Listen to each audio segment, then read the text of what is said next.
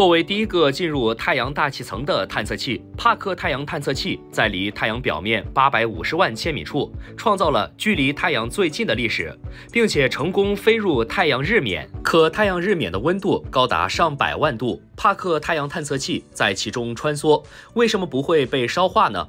一般来说，太阳从里到外基本可分为五个部分：日核区、辐射区、内表面层、对流区以及太阳大气。其中，太阳大气又分为光球层、色球层、过渡区和日冕。而太阳的能量就是从核心处产生，然后逐渐向外传播。像太阳内核的温度高达一千五百万度，在到达太阳表面后就只有六千度左右了。但由于某些暂未被科学发现的原因，在太阳大气中的日冕区域温度却能达到上百万度。帕克太阳探测器在最近的一次与太阳接触，就是进入了日冕层。而帕克探测器在服役期间，一共需要展开二十四次的太阳飞跃，甚至按计划，在二零二四年十二月的时候，它还要逼近至距离太阳表面约六百一十六万公里处。可日冕处的温度高达上百万度，帕克太阳探测器是如何不被烧化的呢？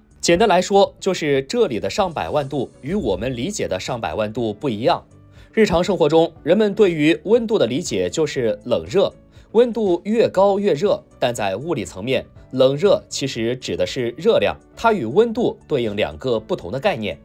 从本质上说，温度反映的是微观粒子热运动的剧烈程度，粒子运动越剧烈，温度越高。粒子运动越缓慢，温度越低。如果粒子不运动了，便可以达到宇宙最低温度，绝对零度。但相对的热量则代表的是运动粒子能够传递出来的总能量的多少。太阳日冕处的粒子无规则运动速度很快，每秒可达到九百千米以上，可粒子的密度却非常低，平均每立方米仅有一千零一十五个。虽然日冕的温度达到上百万度，但总热量其实仅在千度左右。因此，帕克太阳探测器只要能抵挡住上千度的高温，便可在太阳日冕中安全穿行。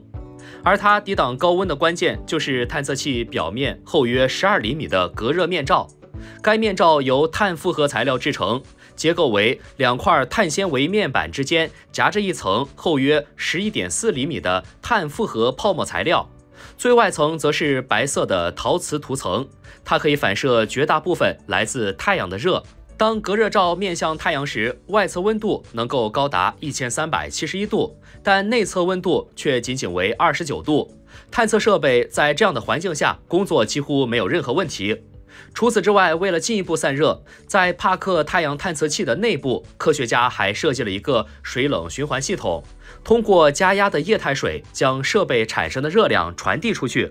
因此，正是在这重重的防护之下，帕克太阳探测器才能安全地在太阳中穿行，然后为人类带来许多宝贵的数据。